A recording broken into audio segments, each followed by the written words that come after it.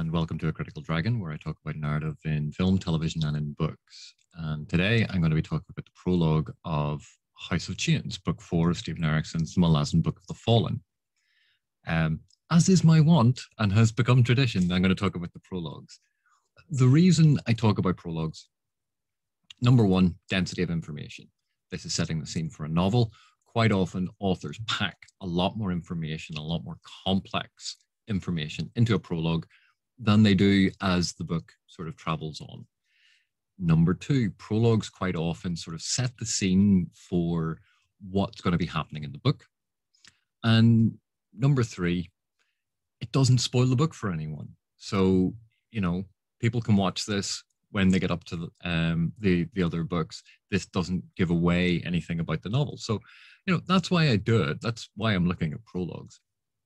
But I wanted to look at this one and uh, probably do a couple of videos on this. There's enough here to be talking about. So the first thing, Verge of the Nascent, the 943rd uh, day of the search, burn sleep. So first thing to note, we're not given an exact date.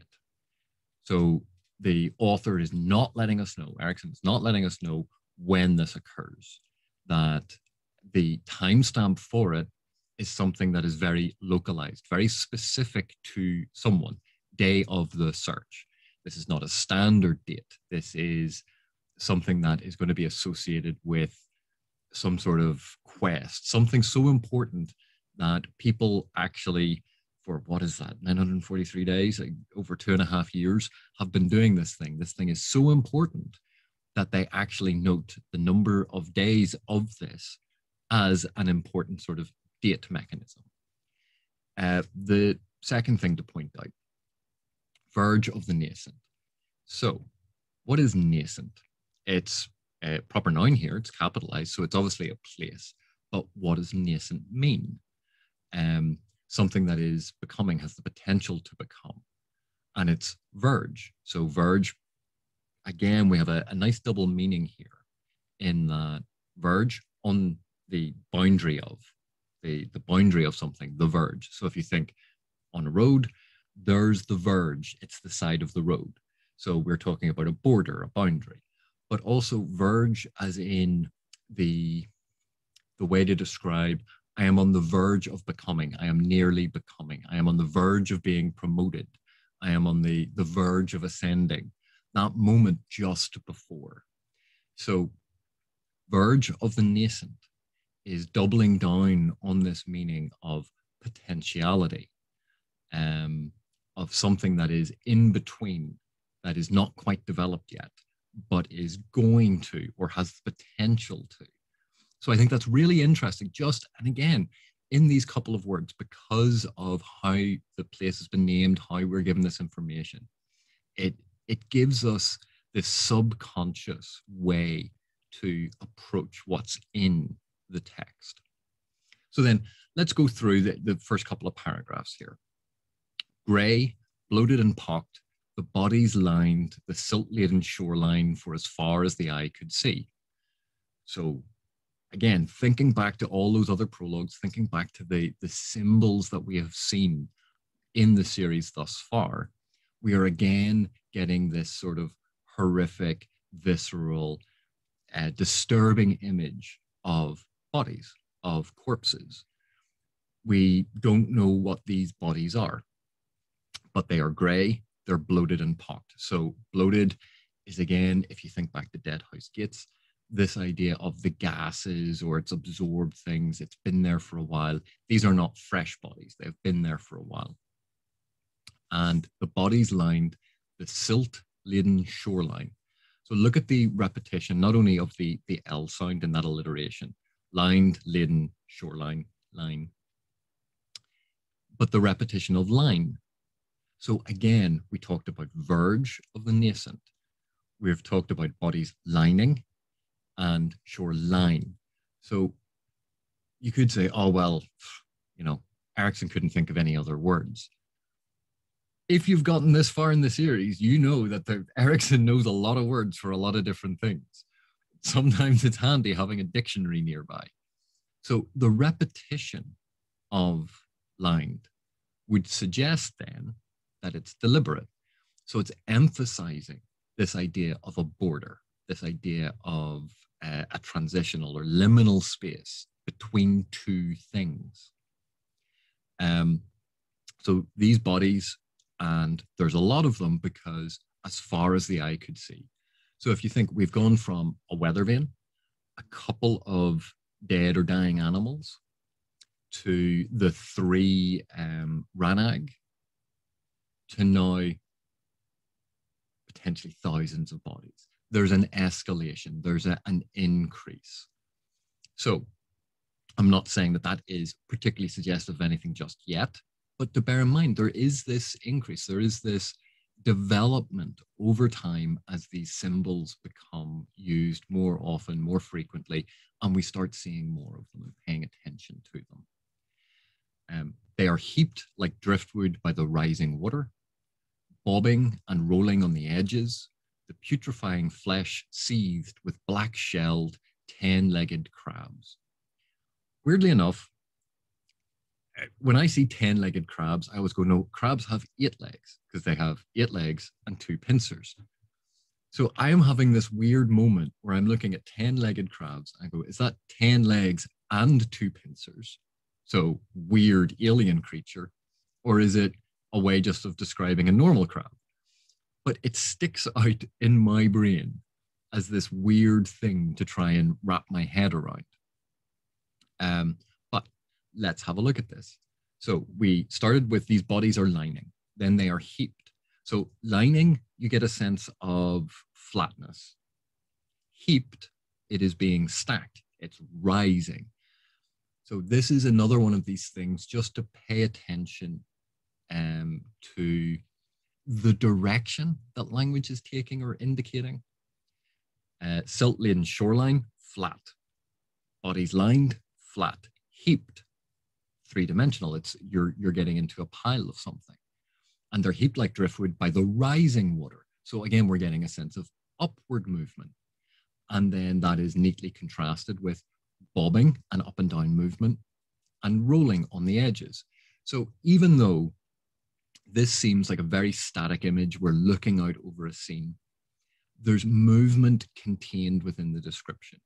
And I, have talked about this before when you have description, by putting in these sort of active ways of describing it, it makes the description more lively.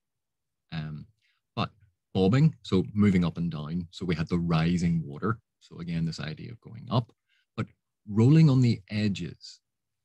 So looking back at that first sentence, lined, shoreline, um, and now we have edges. So we had the verge of the nascent, we had the shoreline, and now we have edges.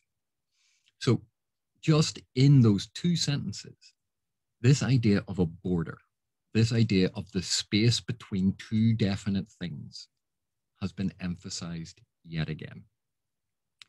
And the other weird thing, the reason edges sticks out to me, the reason my eye catches on it, is rolling on the edges. So rolling, you associate, you know, this movement round and round, smooth, but things typically don't roll on their edges. You you get a sense from rolling of roundness, but edges you think of that's what stops rolling.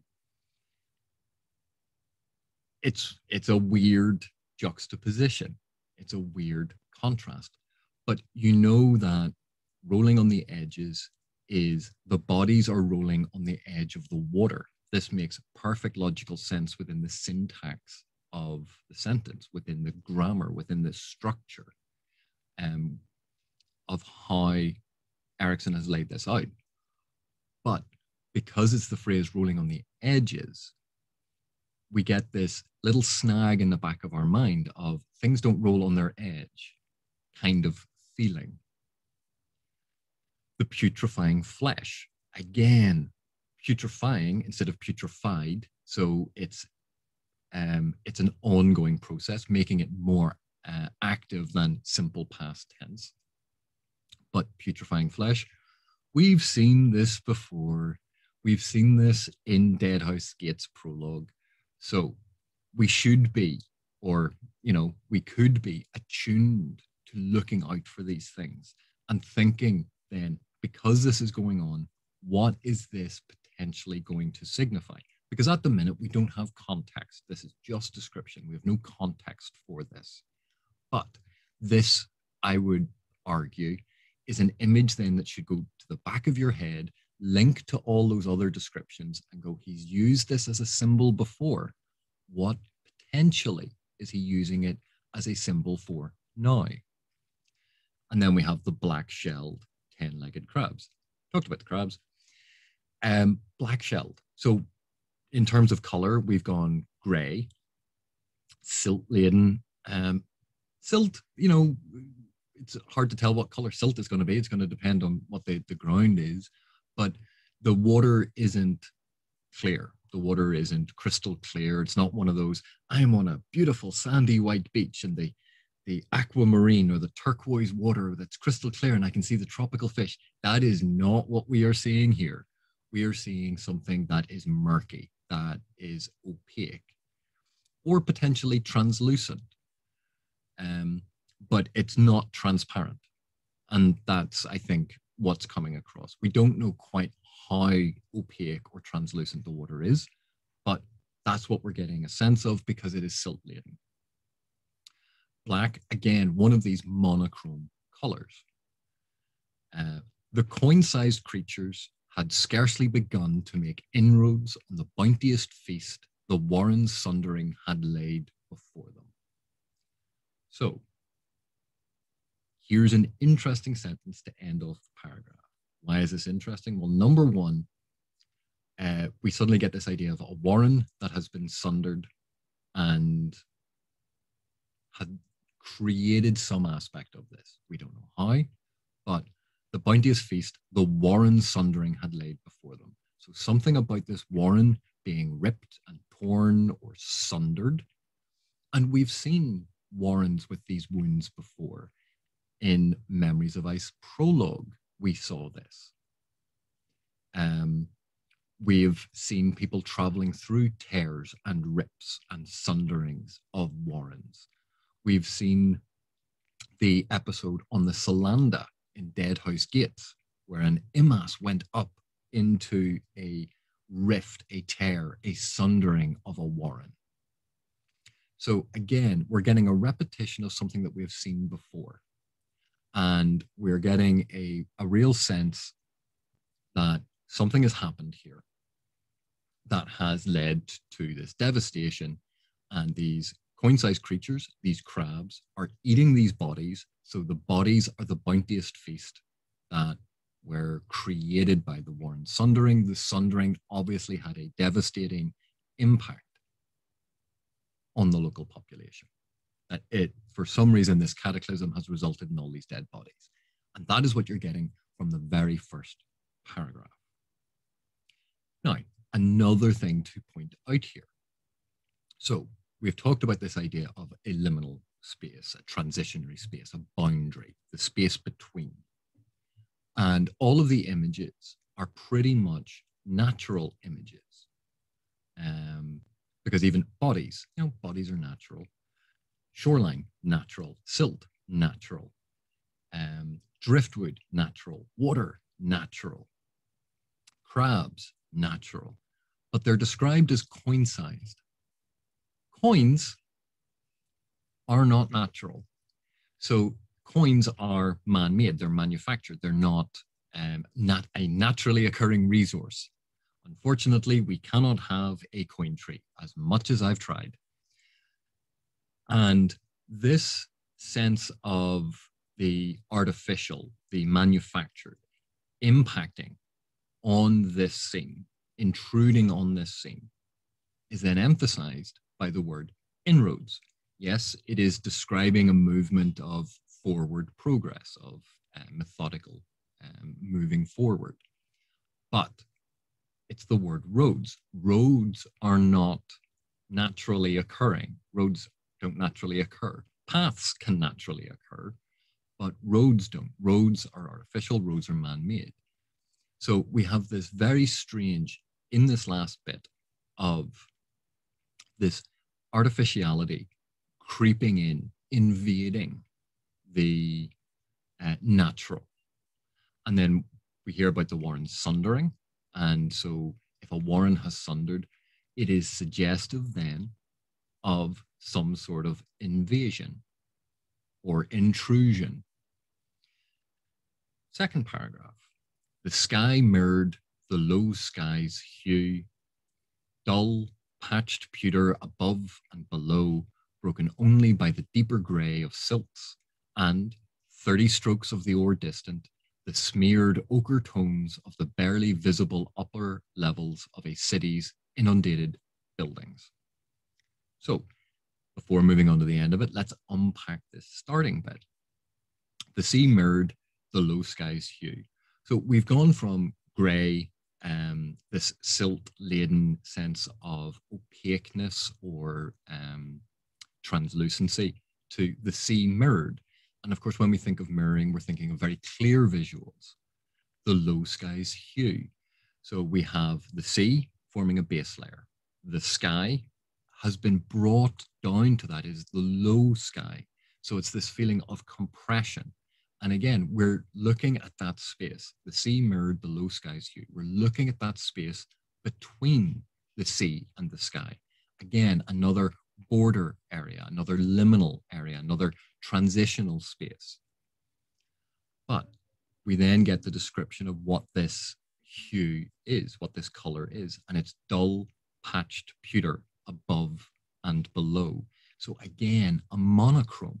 And where mirroring tends to be about reflection and sharpness and clarity, we're told that this is dull, patched pewter. And it's not even a shiny, it's not a shiny pewter, it's a patched pewter and it is dull. So we're getting the gray bodies, the silt, uh, making the water opaque or, or translucent, the uh, the mirroring that's going on is actually of a dull gray color and it's patched pewter which again sort of consolidates and supports this idea of the rotting of um, the putrefying flesh. It, it, it's a creepy image i know but patched pewter it's not new it's aged, it's worn. And again, like think back to Gardens of the Moon when we talked about the the weather vane, and it was uh, so this this dull pewter of above and below, where the the sky and the sea are the same. So this idea of the liminal space that we're looking at, but it makes no difference because everything is this sort of gray color. It's not black, it's not white, it's not bright, it's not dark. It's in that gray in between. And it's broken only by the deeper gray of silt. So now we know that the silt laden shoreline, the shoreline is gray. Any bit of the shore that you can see is gray. The water is gray because it's full of silt and silt laden. So it's gray. The sky is gray. Everything is gray. Apart, the bodies are gray. But the things that aren't gray we have black crabs. So they're still part of that spectrum, but they're not gray. And then the smeared ochre tones of the barely visible um, inundated buildings. So we get a sense that this water has drowned buildings. So the water is it's being implied because you don't typically go and build a whole lot of buildings out in the middle of the water. So it's implying, although it has not outright stated it, that the water has come in and drowned a city or a village. And the city or village had ochre colored buildings. So, again, going back to what I was saying about the first paragraph, the man made, the constructed, the civilized, um, invading a natural scene. And here we have everything is gray apart from the man-made buildings, which are ochre. And by the way, if you're playing the drinking game, ochre, take a shot. Um, so the upper levels of the city are sticking out. So this water, it, it's not hugely deep, but it's not that you can just sort of wade through it. It's not, it's not knee deep. It's deep enough to have drowned buildings. And again, we have uh, to support this idea. The distance is measured in 30 strokes of the oar. Um, so that's how are you measuring distance? Um, the number of oar strokes, kayaks, canoes, rafts, all of these things that you would use an oar with, a boat, all man-made. Uh, or, sorry, I should say artificial. Uh, signs of, of uh, being created, crafted. And we're then given a, a distance between the shoreline and where the city is. And it's the distance of 30 oar strokes. What is that distance? No idea, because what size of oar, what size of boat? But the other thing that's actually really interesting about this, and again, going back to this idea of having active descriptions, 30 strokes of the oar. So there's a sense of movement because you get in that description that an oar is going in and out of the water. And it creates almost the sound of a paddle going into the water, and you get that slight splashing noise. And will also disturb the water. It is the intrusion of a blade into the water. So again, we're getting this idea of a border area of intrusion, of uh, elements of civilization being part of that intrusion, that they are out of place. And this is all done very, very simply in the language choices. And the ochre tones, because they contrast so sharply with the monochrome of everything else, serve two purposes. Number one, it makes uh, that image of the building stand out that this is something important. This is something to remember that there, there were buildings here. But also, it emphasizes how everything else is gray. Everything apart from that. Well, when I say gray, obviously the, the little crabs are, are black, but monochrome. But it's emphasizing that the only thing of any real color is the thing that has been drawn. And then we're told the storms had passed, the waters were calm amidst the wreckage of a drowned world. So, linking back then, the Warren sundering had created this bounty. And now we have the wreckage of a drowned world. What has been wrecked? The city. So, the sundering of the Warren had created this flood that drowned the world. This is not a natural water. Um, and then have a look at the juxtaposition. The storms has storms had passed, the waters were calm. So of course, when we think storm, active, fury, but it had passed. This is the the aftermath. The waters were calm. So this idea of everything is calmed down, it's static, it's peaceful amidst the wreckage. And again, wreckage is all about destruction of a drowned world. Past tense, this world has drowned, it's now dead. So again, we have this movement backwards and forwards to create an impression of this landscape that is far more interesting than, well, at least to me, it's far more interesting to me than uh, there was a silty lake that had drowned the city and all the city's inhabitants had washed up on the shore.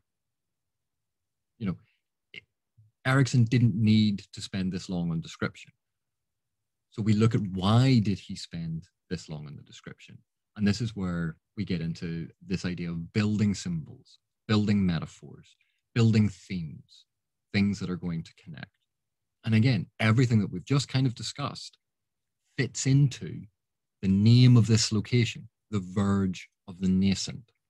This idea of a transitional space, a liminal space, a borderland, that has a potential of becoming. Um, so I've probably talked long enough about those two paragraphs. Um, and I think there's enough there to sort of round out this video. Um, but I will, I'll do a follow-up video and we'll go through a bit more um, to try and tease out some additional meaning, some additional things that are happening. So I hope you enjoyed this, and I'll see you in the next one.